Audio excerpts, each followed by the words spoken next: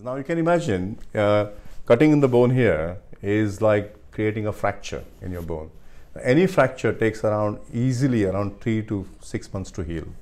So by the time you are absolutely back to normal, it is it will be at least six months.